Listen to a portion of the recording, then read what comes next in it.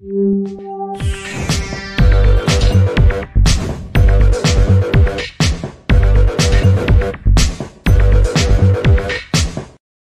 and welcome to the Finance Hour. I'm your host, Wayne Randall. It's an honor to introduce my next guest. He's a gentleman that stood the test of time. He's first in his class, and I don't mean in his graduation class, but first in a class that was predominantly white at the time. He's first African American in the United States Navy wrestling team in 1963, Rhode Island. Let me welcome the legend himself, Mr. Leon Bailey. How you doing today, sir? I'm doing fine, Wayne. How you doing? I'm doing much better now. Hopefully, this is going to be the one that's going to make it happen. Glad to see you smiling. You Yes, know, sir. I read through some of the material you gave me, and you had a very interesting encounter with a gentleman named Larry Cobb. It seems like your life story resonated with him. Can you just give us a little, a little, uh, a little insight to what that was about when he got back in touch with? You? Yes, um, the way that came about was I was at Fort Meade doing a book signing. Mm-hmm. and Wayne came. He came up to me Mhm. and wanted to purchase a book. So, in purchase my book, naturally, I'm telling the background, you know, semi autobiography of my life and Mm-hmm. some of the challenges that I went through during that early part of the 60s and uh, how I overcome, how I overcame those. Yes. And with that, Mhm. uh, talking to him about my book, after I signed it, you know, autographed it for him, I asked him, could once he read it, could he give me some feedback on it, give me his uh, what he thought of the book Mhm. and Sure. and respond, you know, because I like to have some feedback on uh, what other people think of the book, not Leon Bailey talking about his self trying to promote his book. Right. So uh, what happened again?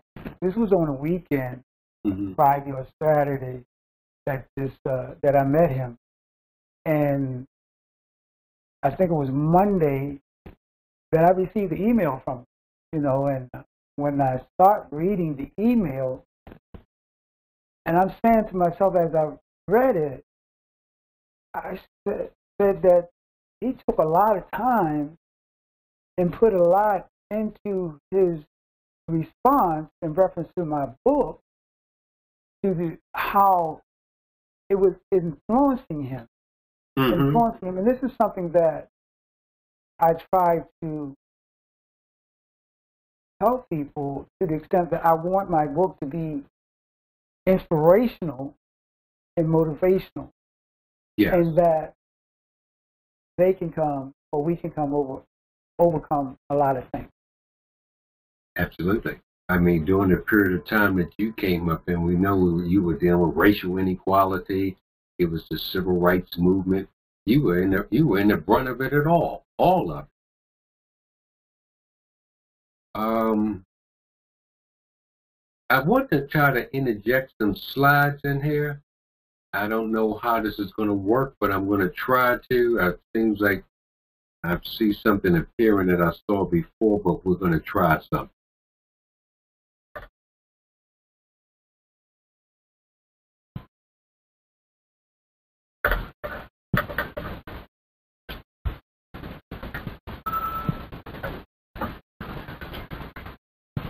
Tell me if you see that slide.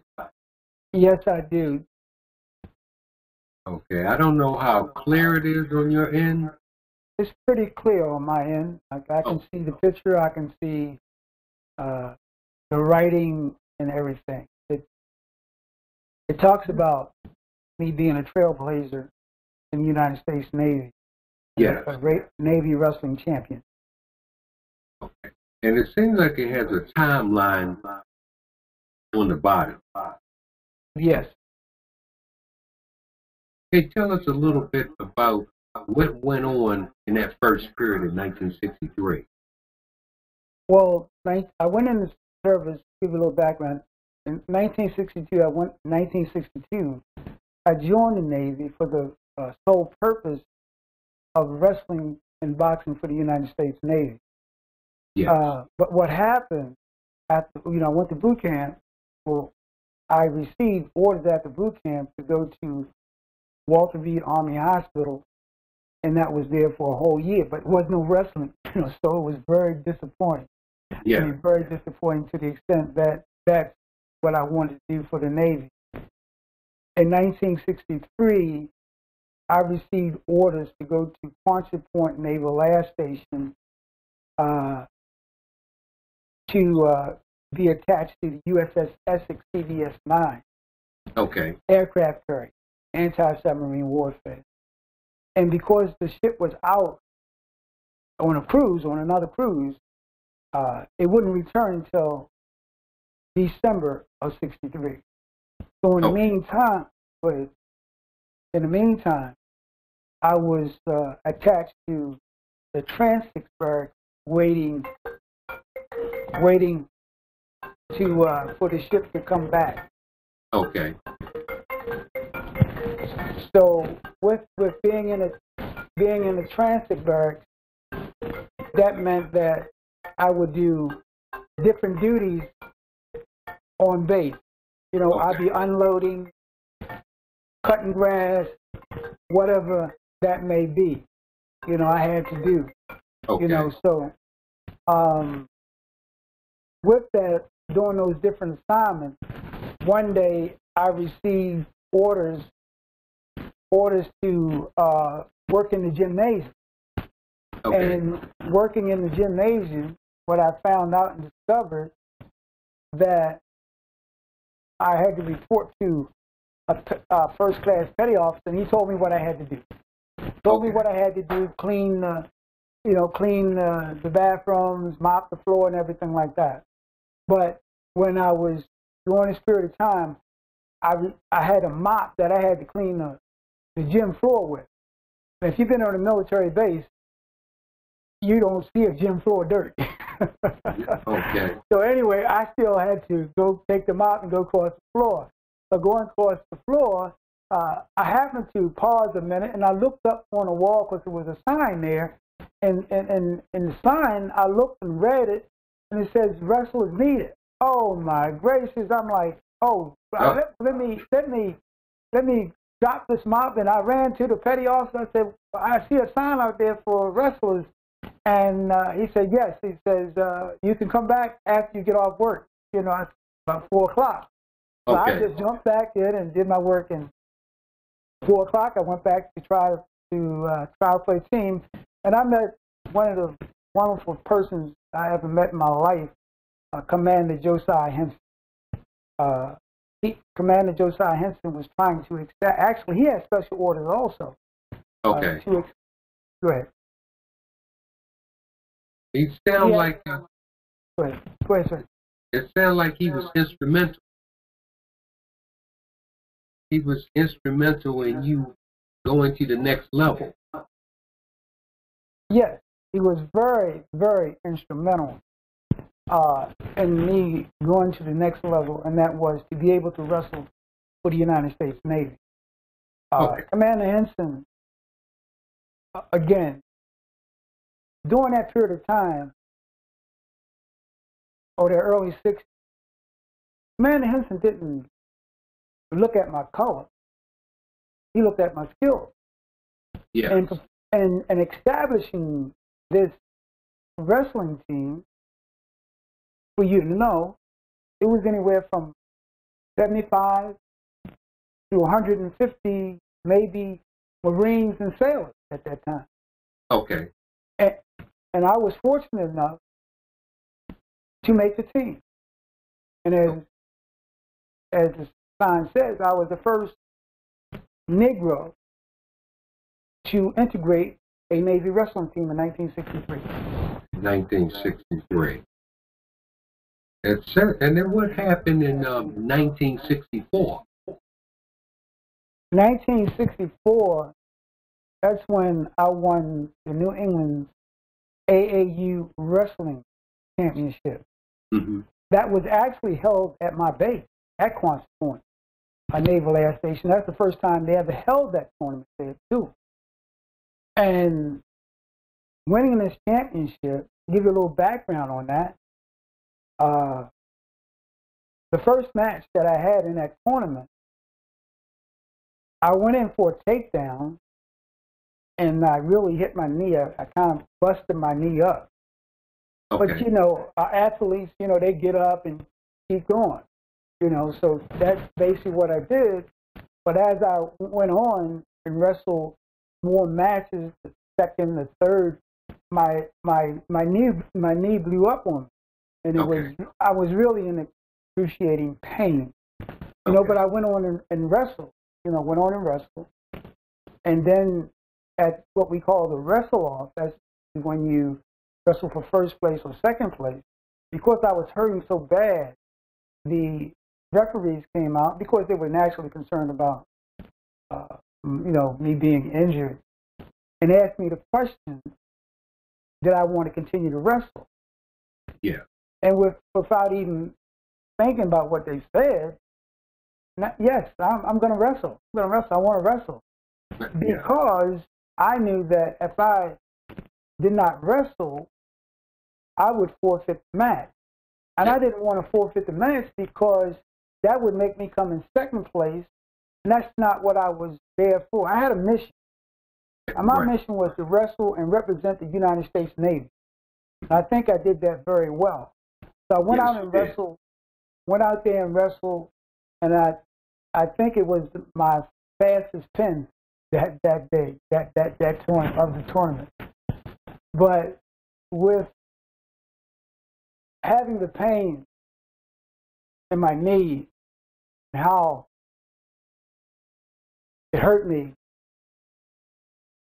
I had to go to the emergency room right after that. Okay. But winning the champion, and when they held my hand up, when they held my hand up, and they said I was first place, and to hear the audience clapping and cheering, it was very emotional. It's emotional to me now.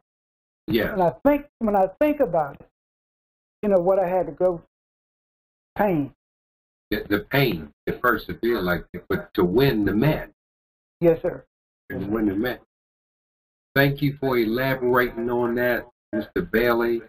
I have a few more things I'd like to, you to weigh in on, okay? Yes, sir.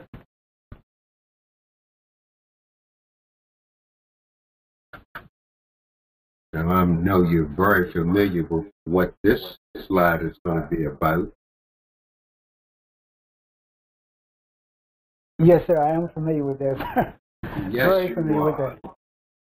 And um, it's coming through okay on your end? Yes, it is. It looks it looks great. Okay. Well, only you can tell us about how this came about. And I'm going to let you speak about it. Yes, Leon Bailey, the Dream, Navy Pride came about. I had thought about, had been thinking about the Navy, some of the things that I had to go through uh, in life itself. Yes. But the thought of really writing the story came one night while I was asleep. I woke up. I, I would imagine somewhere two, three o'clock in the morning, and God gave me the story. Yeah, God Yeah. gave me the story. I understand. You were and and by the laying Spirit. there thinking about that. That's how the story came about. And then I picked my pen up and started writing. You know, uh, kind of like somewhat writing like ABC this, ABC that, and then later on with uh, certain sentences and certain things I thought of, I kind of I put it in a sentence structure, and then from a sentence structure with other things that I had written down, put Mhm. it into a paragraph form. And then once I put it in a paragraph form, other paragraphs that I had, that's how the book came about. Yeah. Well, it's I knew it was a story behind it, and more importantly, a journey. Um, I'm glad for you to elaborate on it tell you, tell myself, and the view in public about how the birth of that came about. Yes, They- and, and with they- that, speaking of the birth, as I said before, Yes. the birth came about because Yes. of God. This I is, believe it's not my story; it's His story. Right. And God tells us to share our story. And this is what I'm trying to share the story that was given to me. So, what in return, how can I give it to somebody else to inspire and motivate? Right. It can encourage and uplift their life. I, I completely agree with you. I attest to that fact completely. I got another slide for you to look at. Tell me if it comes through okay. I'm sure you can tell me what this uh, occasion was about. Oh, yes, yes. As, as a, uh, yes, sir. Yes, sir. As a pic- picture of uh, Kenny Monday. Uh, Kenny Monday was the first African American to win a gold medal in the Olympics in 1998. Okay. Now, the reason why, how that came about was one of the coaches here, and I have to give him credit, Mr. Cornell Bass has really helped me out a lot to the extent hmm of exposing me to different wrestling tournaments, other coaches, and other uh, familiar names in wrestling.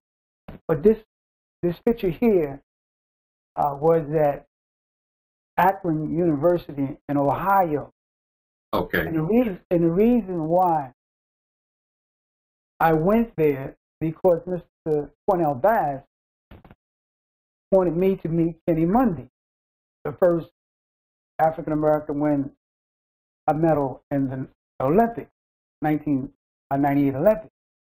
Well, Leon Bailey was the first African American to integrate a Navy wrestling team.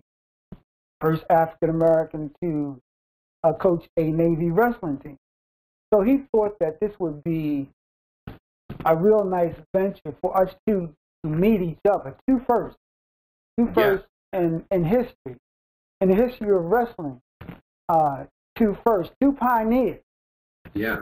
Two pioneers in wrestling. You know, so uh, I received the invitation uh, through Mr. Bass to go to Akron, Ohio for the privilege of being able to sell my book, autograph my book, tell my story, and also to meet Kenny Monday. Yeah. That's how that came about. You know, it's uh, two legends got a chance to meet each other, and as I said in the introduction, the both of you were first in your class, Yeah. and uh, I'm sure more than was a joyous occasion. Yes, it was. It still is. Just to just to just think about it. Yeah.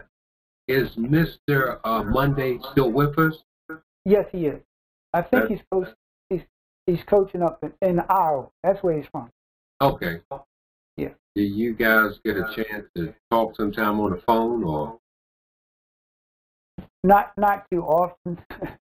you know, uh, I haven't talked to him really, but one time since we met. Uh, Okay.